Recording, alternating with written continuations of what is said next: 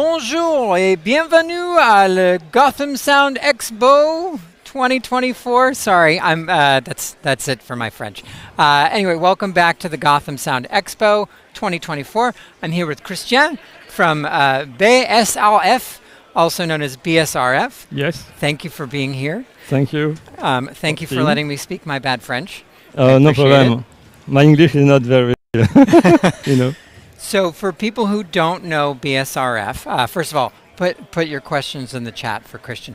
BSRF is one of the best RF companies uh, on in the world. Um. I, I really enjoy your products, and Yeah. I'm as you can tell, I, I use them mostly in a bag. Um, so I, I use most of your smaller products. But uh, for people who are not familiar with BSRF, what uh, what can you tell us?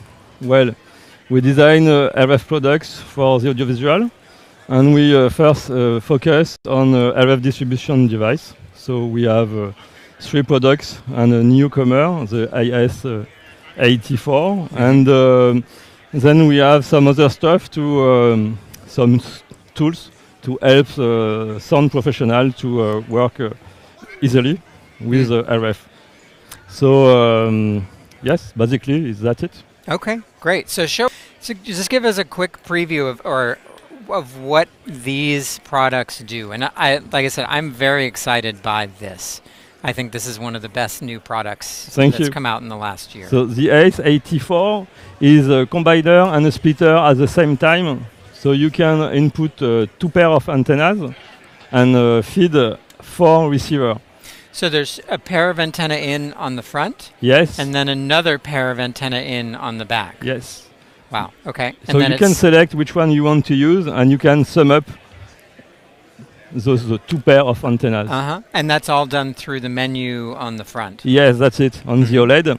And you can also uh, choose uh, two kind of filtering, uh, a wideband filtering or a narrowband filtering with Mhm. a tunable central frequency. And what is the the band pass of the of the filter? Uh, the, for the wideband, it goes from uh, 400 up to 700. And uh, when you use uh, the narrowband filtering, you get uh, the same frequency but a bandwidth of 50 megahertz Mm-hmm. in the band. Got it. So for uh, you know, I, I recommend when people are in, in high RF environments like New York City, Times Square, Empire State Building, filtering. The signal? Yeah, Yes. filtering helps a lot. Yes, of course. Mm-hmm. And uh, it's important to filter at uh, each step because uh, in the antenna you can uh, saturate your uh, amplifi- amplifier, and in the in the combiner or in the splitter you also have uh, active components. So, so you need to take care of it and try if you reduce uh, the bandwidth. Of course, you will reduce uh, overloading of the system, Mm-hmm. and that's important. Important. And do each does each input have power, bias power, and Yes, Yeah. you can power your DC feed uh, on each port. You can select which one or deselect the one you want. got it. So in a very small box, you can take four antennas, so Yes. two zones, Yes, and split it out to for for a receiver. yeah. Yes, that's it. So that's the idea. with most these days, each receiver is generally has two receivers in it, or, or four. So conceivably, you could have RF distro for 16 channels. Yes, potentially. Yes, Great. that's it. Um, all right. Well, let's just move down the line. So this one is the the AS60. One to two. Uh huh. Oh, the Okay. one two two. Right. Yes. That's the one two two. That's the 64. Six two, right. yes. Okay. hmm So the idea is the same for the two those two products. You have uh, one pair of antenna at input. You can uh, add DC feed on each port, and you can uh, monitor the RF peak. It will show you that, that uh, there is too much uh, uh, power um, on the on the link finally, Mhm. and you can add put uh, you can feed six six uh, receiver for the AS62, and uh, no sorry uh, six uh, three receiver for 62, and uh, six receiver for one to two. Uh-huh. Okay, Perfect. I'll make myself clear. And wait, so tell me, there's a couple of things I don't recognize here. So what is this? So this uh, is a filter Mm-hmm. and uh, it's it's active filtering. So you have the filter, and then you have the amplifier. So Mm. the idea also to protect the, amplifi- the amplifier, and uh, it comes uh, it comes with a three four block. You have to choose one, and it's also it's a 50 megahertz block. Mm, okay.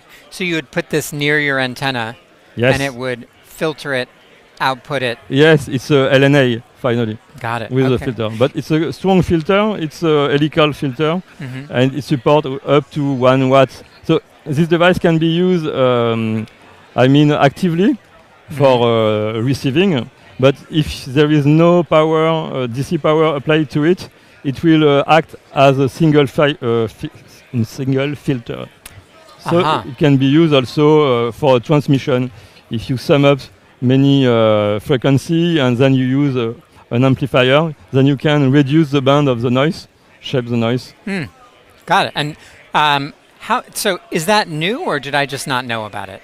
No, it's not new, I did not know. but you know, um, uh, in the, uh, the some uh, many years ago, uh, the manufacturer decided to open uh, wide uh, the frequency band. So uh, Mhm. now the people are quite um, unhappy of uh, the idea to filter again because uh, they have to uh, protect themselves from Mm. uh, you know incoming signal, uh, Wi-Fi, uh, LED, etc. hmm Digital television. Digital, yes, Yeah. it's a great concern. yes. Mhm. Mm. And so, uh, very quickly, what are these boxes here?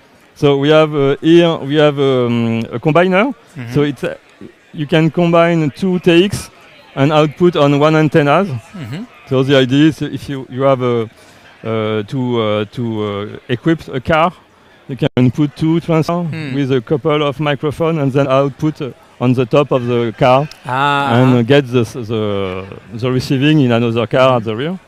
We have here um, uh, tools that helps you to measure the RF power Mhm. and to uh, figure out if you have a problem in your configuration or in a device.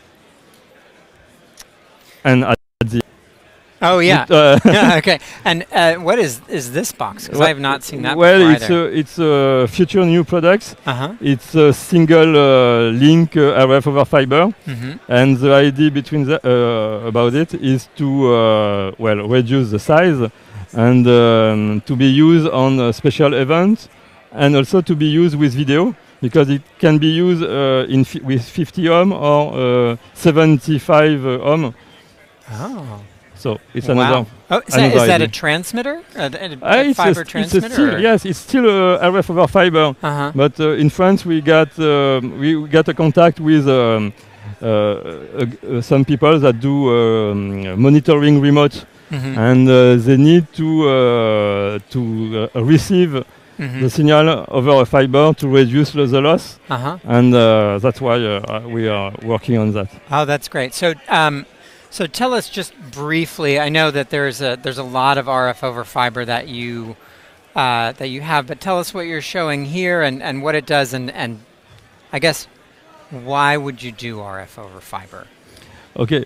Uh, the main advantage of uh, all the stuff is to uh, use um, to use the transmission of uh, signal over the fiber, and uh, it's interesting because there is a very low loss. It's very Mhm. low loss. You have 0.5 dB per kilometers, and uh, there is no. It can't Per rust. kilometer. Yes. Okay, so to give you guys an idea, a kilometer is like not a mile, but big. It's a long way. So 0.5 dB, where normal coax has what 3 dB per hundred or something like no, or it's even Oh, 6 it's- dB per Yes. hundred. You, you have 0.4 uh, dB per uh, meter, so Mhm.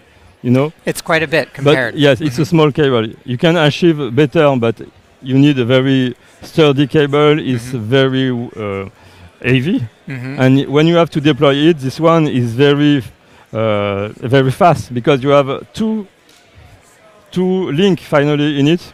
And if you want to do it with uh, coax, you need uh, two two times the coax, and it's Mhm. very hard to deploy. So it's very loss, very low loss. It doesn't rust, and uh, today more and more configuration are uh, you know uh, use uh, fiber, monomode fiber. So Mhm. it's the future. It's the Yeah, absolutely. So just to, to show it off, so this is the transmitter, is that right? Ah, this one is the receiver. This is the receiver. Yes. Okay. So it transforms the optical signal back to uh, to electrical. hmm You can have some uh, information about uh, the RF power, the optical power, and add some uh, attenuation if needed. Mm. And uh, in the And- other side, you have th- this, this is, this is where you connect your uh, remote antennas, and it transforms the signal uh, from electrical to uh, optical. And this is unique because it's two antennas coming into the transmitter, Yes, that's going it. over the fiber, and Yes. then decoding. Yes, so that's you right. can you can be far away. Let's say I've I've always thought this, but if you get a, a van or a car, Yeah. and you are doing your sound, you can run one cable, have your two antennas go into that, and then Yes, that's true. And it was used on uh, Gladiators 2, uh, 2, 2, sorry. wait, sorry, which one? Gladiators 2. Oh, Two. Gladiators Oh, 2. sorry. No, that's that's exciting. So uh, Gladiator 2. Very cool. Yes, Okay. still under production. Mm-hmm. Okay, that's uh, that's neat. So that potentially they can be the sound truck can be very far Yes, as they move around. That's exciting. Okay. yes. Um, so I'm just going to check into our uh, our comments. Um, hold on one second. I'm having a hard time reading. Reading is hard. Putting oh, very good. Uh, let's see. Oh, great. So Almanac said uh, BSRF stands for Best Source Regarding Frequencies. yes, of course. That's a good one. It's not the other. And also asked if they missed the purple power blazer. I can't rewear outfits. I would get raked over the coals on all the social medias. Um, at, at NAB, I had a purple jacket that people liked.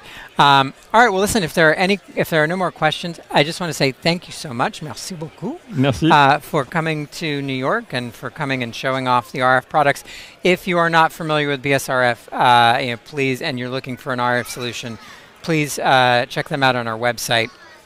We will demo you things. I'm a big, uh, a big believer uh, in their RF products. Um, for this video and more, you can go to gothamsound.tv. You can always email us at info at gothamsound.com if you have any questions. Facebook, Twitter, YouTube, etc., etc. Gotham Sound, exposing you to the latest in sound and communications. Thank you. Thank you. Thank you.